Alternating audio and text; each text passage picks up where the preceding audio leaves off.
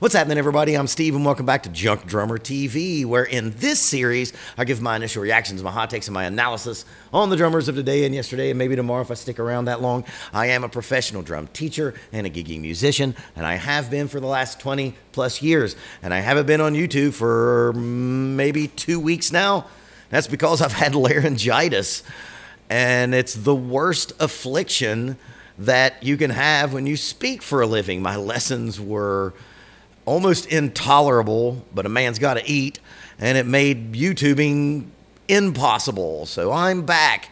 And in celebration of my 40,000th, I always have to, when I say thousandth, I have to say it very uh, specifically because my lisp will come back. That's right. When I was a young junk drummer, I had a lisp as a kid that comes out when I get over served from time to time.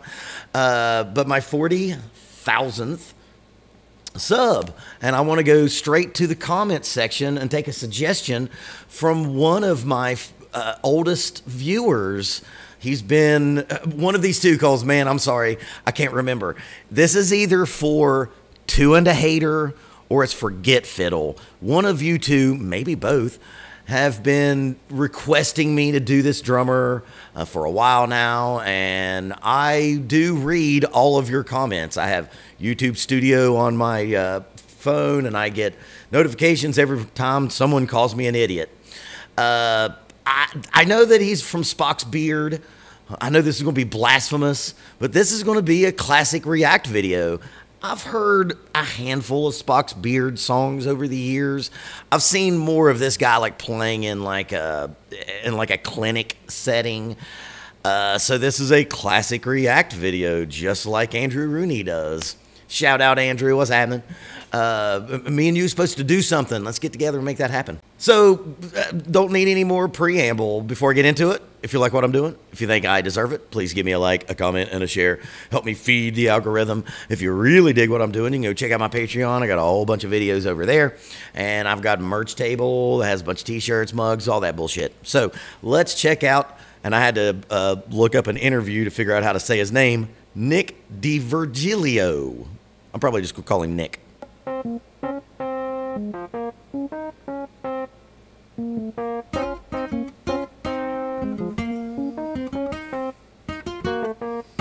People who spin their sticks counterclockwise freaks me out. I go this way, but to do it the other way, I, I can't do it.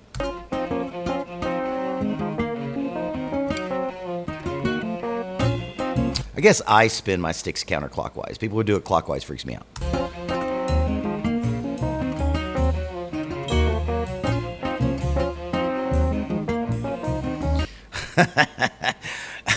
I know we're going to see some badass drumming, but this little tinkling on the cymbal thing makes me think of Fred Armisen.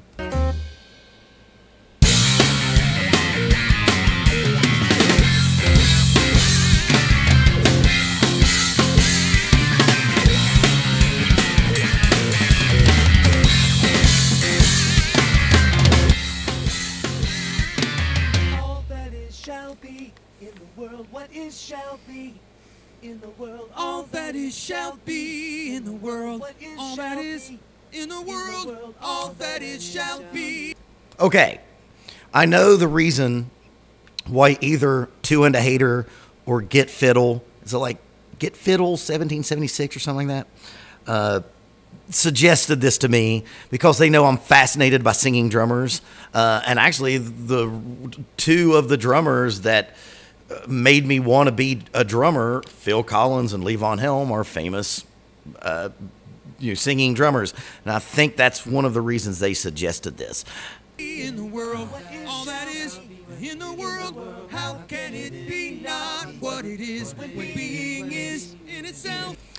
Okay, so he's singing in a round, and like I know this is a prog band. You don't really think of like harmonies in a prog band. I guess if you're a Spock's Beard fan, you're going to tell me I'm an idiot in the comment section. Don't worry, I read them all.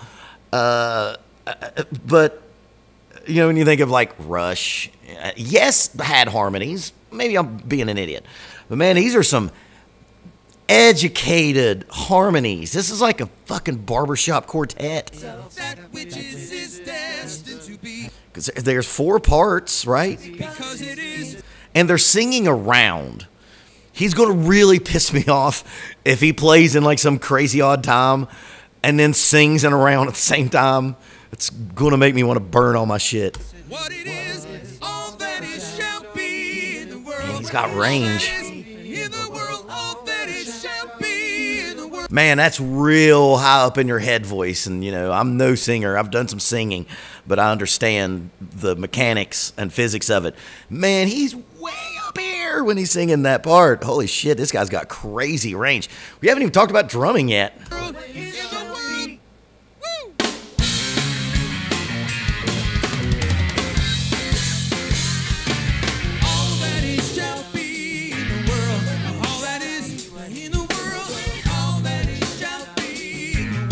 Okay, I'm gonna burn all my shit. This motherfucker is, you know, playing this slamming muscular prog groove that I think is in some math. I haven't counted yet.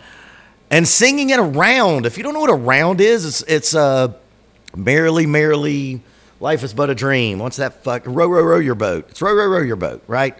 It's where you sing, uh, you know, vaguely, basically the same part, and everyone starts on a different rhythm. Uh, so this guy's singing in a round, in a harmony, and playing drum.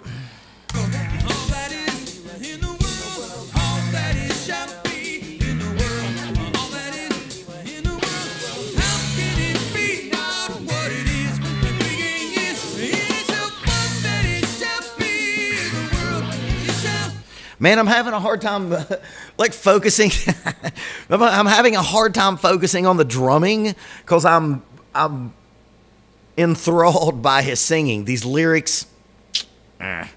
but the notes and and the and the lyrical quality of what he's singing, it's I, I I'm a drum channel. I gotta fucking do drums. Hold on. be.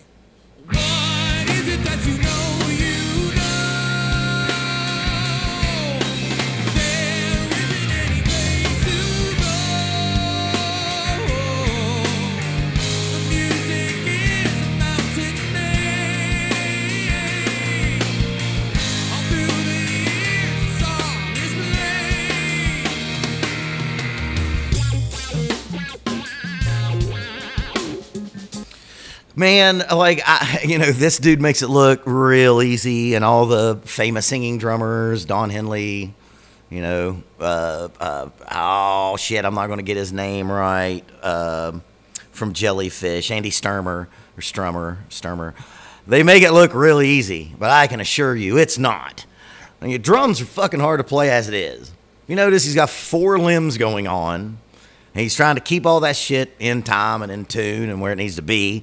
And then singing, and it seems like, is he like the lead singer of Spock's Beard? Uh, I did not know that. It's very Genesis of them. Late, later Genesis, of course. Uh, do they have a Do they have a Chester Thompson that plays with them live?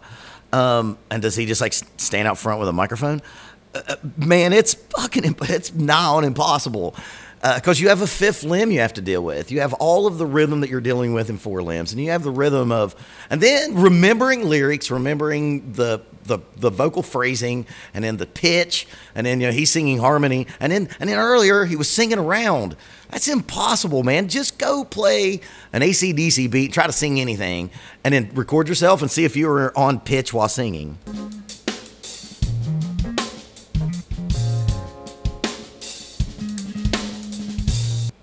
Ah, there's a little chance for some education.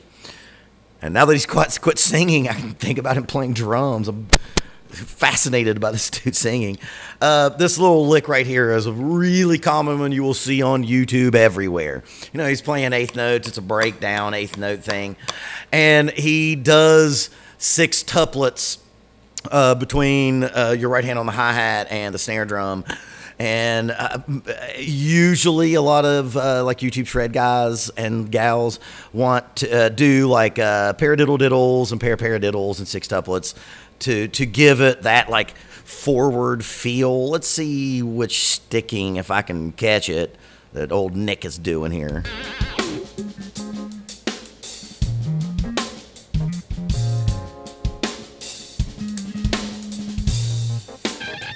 Might be a six stroke roll as well, but I'm going to break down like the lesson that I give students so they can have that in their arsenal. Like, you know, play eighth notes. And then play like, you know, I'll do like a paradiddle diddle or like a para paradiddle. Ooh, let me do that again. That was fucking terrible. Right? So going one and two and three and four and one and two and three and four and one. That was a paradiddle diddle. But you know what I'm saying? Uh, switching into that sextuplet, it gives the man. I got to play that pair, that double paradiddle again. Jesus, that was so bad. Ah. Uh, but but going into your sextuplet out of that out of that eighth note, it's very proggy. You see it all the time. It's a pretty common lick. Uh, he's kind of doing like he's coming. It seemed like he came down on the snare drum on the two. Yeah, so he's probably doing like a paradiddle diddle, right?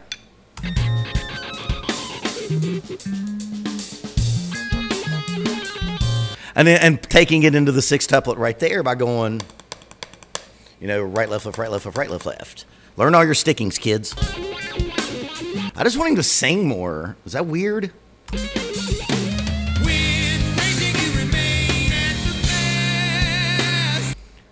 These are all great vocal melodies. They need a lyricist.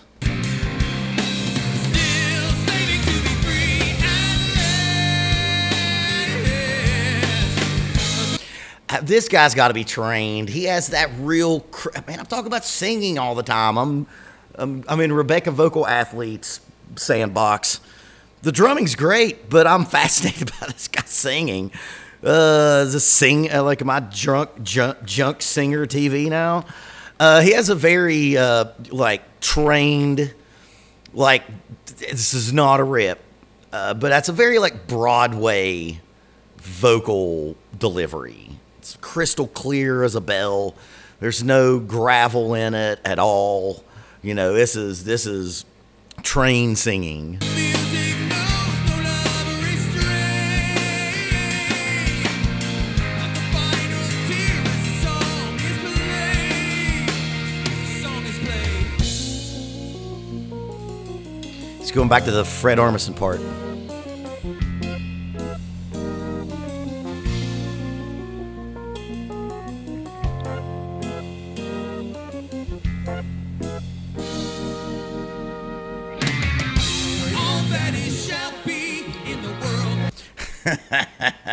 This di- this guy's done Broadway or like musicals in college. Even his facial, he's got like that facial face. He's got like the Broadway facial histrionics. You know what I mean? I'm not making fun of him. It's just something that I'm noticing. This guy's an amazing drummer. We've seen some really good drumming, but I'm fascinated by his singing. I've never heard a drummer sing like this before.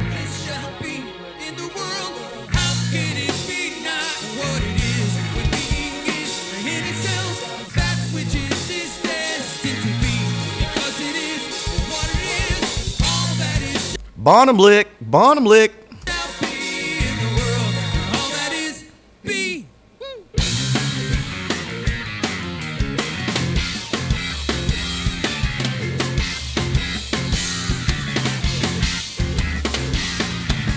This is a very common uh, prog prog rock thing is to set up a bunch of unison hits for the band. And that sets up the drummer to get fancy in between those hits you know. That's what you're seeing right here. It's a very very common prog thing that he's killing. And now he's going to play over the bar line. I i, I should have predicted this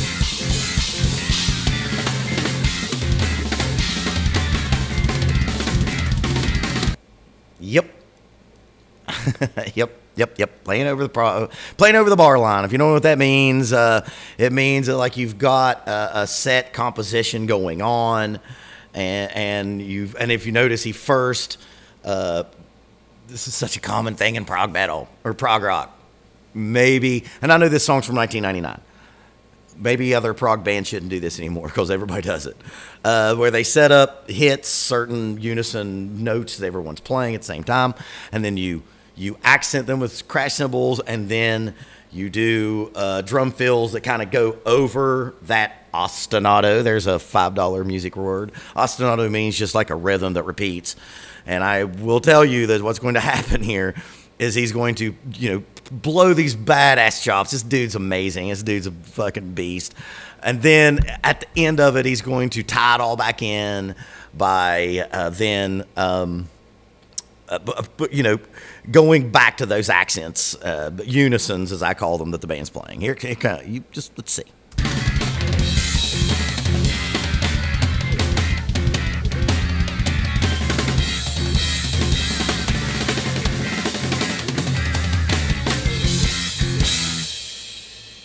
I didn't do it like they usually do. That was a good man, good man, not doing it the way that most people do. Uh, that's that's the most I've talked about another instrument in any of my videos, and I'm cool with it. Uh, we saw today real high level Broadway singing over real high level modern progressive rock playing. Uh, the the drumming is drumming I've heard a lot, and that's not a rip at all. It's not. It's not the most thing that I'm most impressed by was like all that singing, man, and playing. I think that one part was in the seven or it was in nine. I think I wasn't I wasn't counting because I was listening to his singing. Man, that's so hard to do. That's that's ridiculously hard, man. I, I admire him for that. Like I said, if you think that's easy, go go do it. Go record yourself playing and make sure you're over on the ride cymbal so you can keep your left foot moving and move all four of your limbs and sing in time at the same time. And, sing in pitch, of course, is the most important thing. Uh, yeah, that's that's. I know why that person, Get Fiddle or Two and a Hater, uh, suggested that because they knew I would enjoy the singing part of that. I have to say, I would give anything to be able to sing. I can't really sing that well. I have one song on my channel where I recorded it with uh, my buddies uh, from the Drunk Uncle Radio podcast, singing an Elvis Costello song. But I definitely was not going to be able to do that and play drums at the same time. So I, I admire that stuff. The drumming is just the kind of drumming that I would expect from this style of music, and it's the and it's the drumming that people who love that style of music expect as well. And it's cool. It's it's cool. Uh, lyrically, mm, mm, you know what I mean. But man, fucking badass singing. You come on a drum channel to hear the guy talk about singing all the time. And if you enjoyed all that, please give me a like, comment, and share, and go check out my merch table, my Patreon, and all that good stuff. And if you want to be able to sing like that and play drums at the same time, man, you got to keep practicing until it's easy.